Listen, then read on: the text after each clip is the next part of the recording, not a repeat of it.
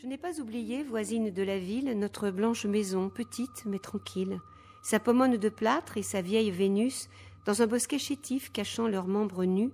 et le soleil, le soir, ruisselant et superbe,